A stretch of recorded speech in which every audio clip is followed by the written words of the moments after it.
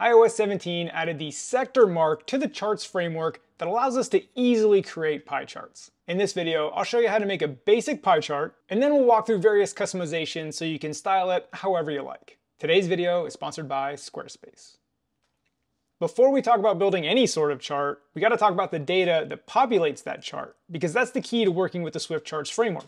It's making sure the data is in the right format. For our example, we're using this revenue stream object. And you can see, it's nice and neat, right? It's got a name and a value. And in our mock data, we're creating revenue streams that is an array with name and values of various revenue streams that we'll show in our pie chart. Now, this is typical of tutorial land, right? Everything's nice, neat, and perfect. I wanna point out that in real life, your object may not have exactly what you need. Maybe you need to build a chart based on certain calculations, or maybe your object is so big and bulky that it's probably a good idea to use some sort of chart object to convert your data into. Here's an example of what I use in my app Creator View. These two chart objects, I have functions that you know run calculations or do whatever I need to do to make sure the data is nice and neat to work with Swift charts. So I wanted to point that out in our nice, neat tutorial land example, we are gonna have the values nicely on our object. You may not always have that, so creating these custom chart data objects is a good way to solve that. Okay, with that disclaimer out of the way, let's build our chart. So the first thing I wanna do is import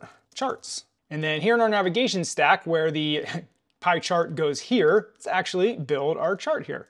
So chart, and then we do for each, do data and content. So for data, we do mock data dot revenue streams, and for the content, say stream. Now this is where we create our sector mark in iOS 17. For right now, we'll just do the angle. We'll come back and revisit inner radius, outer radius, angular inset. That's when we customize the chart, but we're starting with the basics right now. So the angle is basically just the values in our array. So say dot value, the label key will say stream, and then the value, which is plottable, is going to be our stream dot value. So this is iterating through all of our revenue streams and for each value, right, and the value here is going to be like AdSense, courses, sponsors, these values, it's going to create a slice of the pie chart. Now, because we haven't done any customizations yet, you can see we have a pie chart, but you can barely see those white lines. Like I'll zoom in and you can kind of see them because it's all one color. Now to make that stand out a little bit outside of angle, you can do angular inset, and we'll say two. And you can see that added space in between the slices. That makes it a little bit better. Now on our sector mark, we can do foreground style and just say red, right? We want a red chart. Or if we do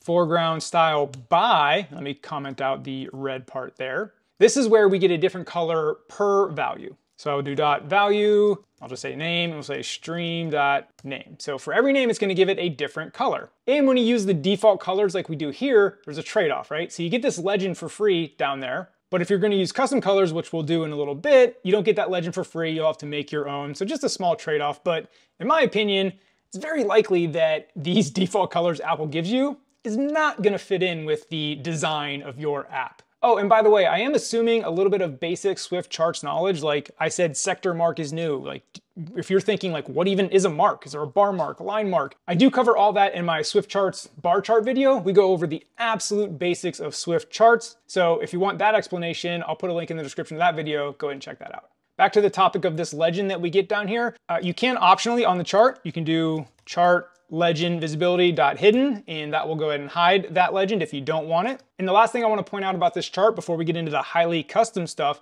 is you notice our biggest value isn't the first slice. And that's because whatever order your array is in, that is how the slices will be arranged. So look at courses, that's our, our biggest slice. We will put that first, and then now you'll see the slices change. So now the first slice, because it starts at like 12 o'clock. So our biggest one is the first slice, and then goes our smallest slice. But if you want this in order, because it's typical for a pie chart to be like in order of like how big each slice is. So you would just sort your array. So for us, we'll put AdSense at the end, and that will have our array sorted largest to smallest. So there you go.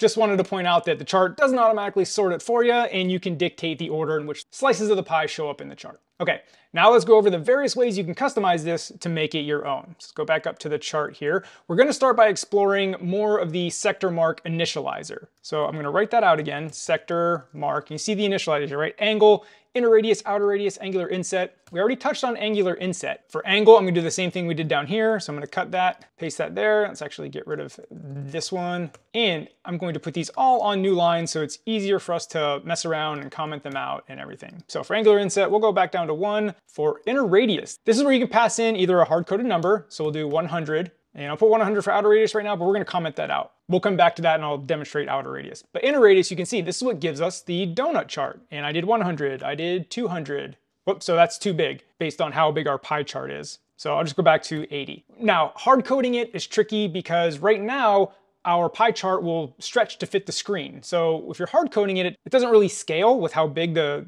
pie chart can get. So you can do dot ratio, let's say 0.618, the golden ratio, that's what they used in the WWDC video. Now, however big your chart is, you'll get that ratio for the inner radius. And speaking of how big the chart is, let's put a frame on the chart so we can demonstrate that here. Say width and height here. So the width we'll say is 300 and height is also 300. So that puts a frame around our pie chart. Real quick, let's put a spacer so we move our pie chart up to the top. I don't like it in the middle there. So I don't know, let's say you wanted a small chart. So 100 by 100 and you can see our ratio of 0.618 kept that donut. Whereas if we hard coded it with 100, it would you know look different based on how big the pie chart was. So let's go back to 300 by 300 to get a pretty big pie chart. But that is inner radius and how you create a donut chart. Now, outer radius lets us expand uh, a section of the pie chart. So an example of that is you can go stream.name equals equals, we'll say sponsors. If that is true, we'll say 180, if not 120, and I dialed these numbers in. And making this larger will let you highlight a certain section. Let's go ahead and get rid of the inner ratio so we don't have a donut chart anymore. So now you can see the pie chart would be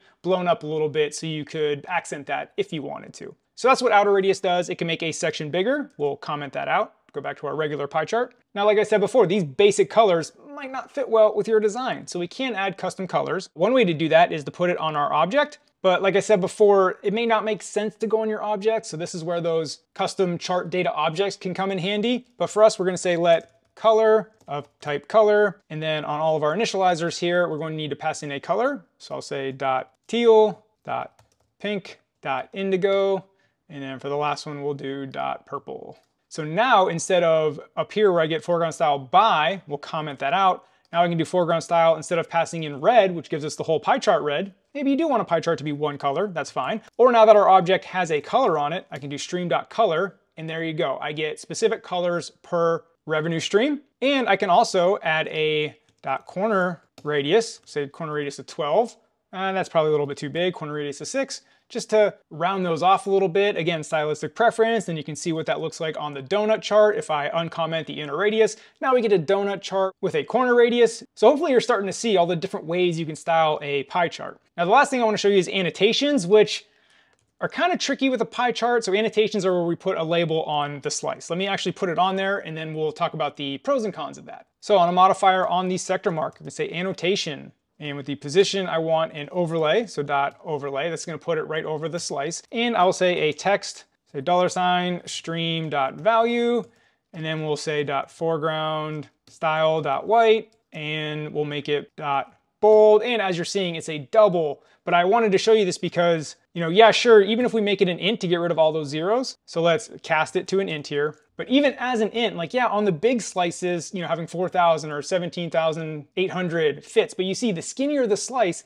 it almost doesn't matter how small the annotation is, right? Even if you did like 4K, 17K, it's not gonna fit on the small slices. So annotations may or may not work for you, but that's just kind of the nature of a pie chart when the slices get really small. But if you do want them, that is how you add them and we'll comment them out so it's not cluttering up our nice looking pie chart. But as you can see, between inner radius, outer radius, angular inset, different colors, corner radius, you can make a pretty good looking pie chart. And if you care enough to be here learning about making great looking UI, you're probably building great apps. And you're gonna need a place to showcase those apps, and that brings me to today's sponsor, Squarespace. Squarespace is an all-in-one platform to help you get that iOS developer portfolio, blog, or personal website up and running very quickly. Now I know we're all developers with the skills and the desire to build the web page ourselves, but I would argue there's an opportunity cost to your time. If you're an iOS developer trying to build a great product, a great app, maybe spending a lot of time learning the ins and outs of web development, responsive design, isn't the best way to spend your time. That's why I recommend Squarespace to build that personal website, the blog, your portfolio, or maybe a landing page for your app. They have all kinds of beautiful themes and templates to get you started. They handle all the analytics and the SEO for you. Again, it just saves you so much time so you can get back to doing what you want to do, and that is building iOS apps. So when you're ready to get started, go to squarespace.com to start your free trial. And when you're ready to launch, go to squarespace.com slash Sean Allen to get 10% off your first purchase of a website or domain.